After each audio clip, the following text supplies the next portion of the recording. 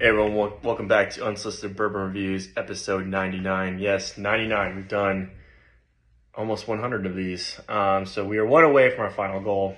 Um, but don't worry, it won't be the last one once we hit uh, 100. But in terms of accomplishing what we set out to almost 15 months ago, um, we are inches away from the finish line. Um, so today I figured we would do our final, I, keep saying it's our last first time Friday on a Friday or first time Friday on Tuesday.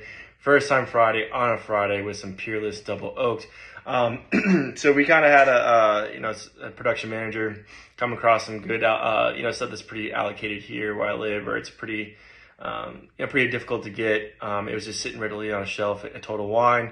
So we're finally able to get those bottles up here, and I'm really excited to finally go ahead and knock out um, this this double oak tonight. So really what I wanted to compare it to. We've done some really great double oak products. So we've done um, Woodford double oaked, Old Forester 1910. We've done Sagamore Rye double oaked, and we've done a Starlight or Huber's double like store pick double oaked. And I think we might have done one more, but I can't quite remember. So double oak, they're I I like those. I lean more into those. I, they're they're definitely on the sweeter side, um, a little bit especially neat. It's very smooth stuff. Um, you know, they're pretty consistent across the board. So what I wanted to do is, you know, for today, for first time Friday, when when trying this Peerless Double Oaked, is you know really compare it to kind of like well, I'd say like two other staple products or two bourbons for that matter that are double oaked. And again, we have a Woodford Double Oaked, which I said was a top five, you know, bourbons you have should have on hand, and I still stand pretty firmly on that. And then the Old Forester 1910, which which I don't have, I actually just crushed that bottle um, a couple nights ago. Um, but that's like another great one in terms of it's a, it's a twice barreled or double oaked, and you know, I really w- would like to see. Um, you know how this peerless holds up to to those two. Um, so um, you know, just for time's sake, we couldn't do uh, which one Wednesday on a Friday. Uh, which is just too many, and we're just trying to get um, through this one for today. But also boil it down to we also have a Remus, um, which uh, D. Gruen gave us a really nice write up on uh, his thoughts on Remus, and you know for the sake of it, I, I had to decide which one I wanted to do for the last couple. I decided to go with the Peerless, but um, you know maybe some bonus content. We'll do the the Remus, and we can compare um, compare notes what what D. Gruen came up with with his experience with the Remus Six. So um, we'll go ahead and jump right into this. So again, this is a double oaked. Um, minimum of four years for Peerless. Peerless are out of Louisville, Kentucky.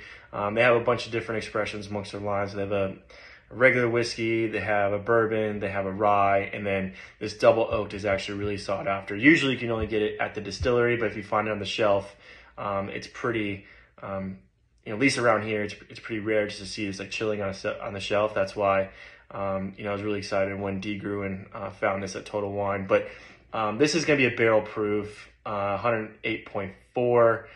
Um, again, don't know too much about Peerless. I know they're kind of one of those craft distilleries. They're very similar to to Barrell. Um, we talk a lot about Barrell, um, higher end stuff in terms of price point, and you know they do a lot of good stuff within their line. And I've actually never had another Peerless product to re- to compare this to, so I knew that you know the double oaked is a really one, and the bottle's really cool too. Um, really, really high end stuff. Um, really nice, nice top. It's like solid wood, and there's some really cool design, kind of the shape of the bottle. So, um, enough about that. So this is. We'll go ahead and sniff it, talk about it, taste it, and uh, we'll give it a final score. So nose. So this. So first time Friday on a Friday. The rules are this sits up for about ten minutes, and this thing just looks. It's got some legs on it, real thick. Um, so it's definitely not gonna be coming off thin. I do get a little bit of chocolate. Um, I mean, the oak is just like kind of blows your face off a little bit. So if you don't like oak, I can tell you here now, like you're probably gonna hate this. But if you like the oak taste, um, you know, I think this, you know, we haven't tasted it yet, but this I think this definitely be um, right up your alley. So get some oak, I get some caramel, I get a little bit of marshmallow in front, but I don't really get any kind of like fruit or anything like that. Uh, I kind of get more of your traditional bourbon um, profile or, or flavor on that. And we'll go ahead and give it a sip.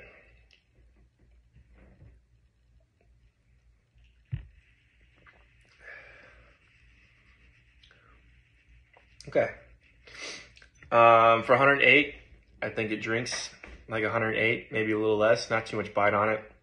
You definitely don't get the ethanol, but I'm telling you that just like straight oak, dude. Like it's an oak bomb. They really push the limit on this, and you know I actually like the taste. I, you know it's a really unique profile, um, so I don't mind it. Um, but if you're again, if you're not into it, you're gonna hate this. Um, I get caramel, vanilla. Uh, I do get a little marshmallow on there. Good finish. Finish is pretty decent. Um, but we'll go ahead and get to the price point. Price point, this shit is expensive. I think it's around like the 95 to $100 mark. Um, so I have to nail it with like a six. I don't think this is a $100 bottle of booze. Um, taste, I give it a 7.5. We'll meet in the middle. I think this is a very solid seven, but I think Old Forester, I mean, not Old Forester, but uh, Woodford Double Oaked uh, is still king. Um, so I appreciate it, guys. We'll talk soon.